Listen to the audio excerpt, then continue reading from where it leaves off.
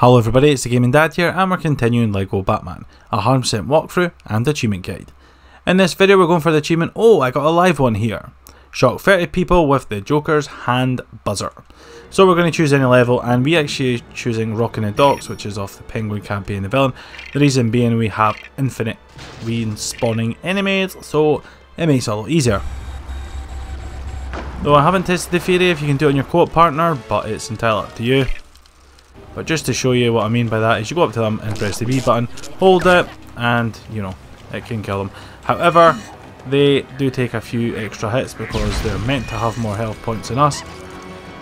So we just want to go and kill any enemy we see with the hand buzzer.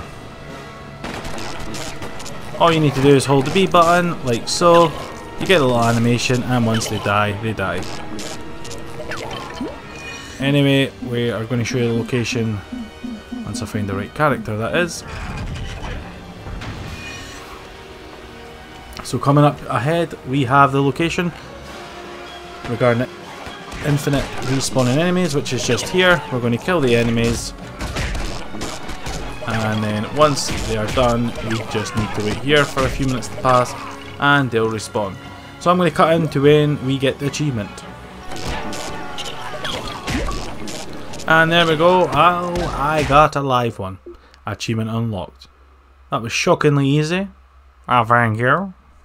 Anyway, thank you so much for watching. Please like this video, subscribe to my channel, and hit the bell notification to keep yourself updated. And if you could join my Facebook and Patreon, that'd be greatly appreciated also. Last but not least, see ya!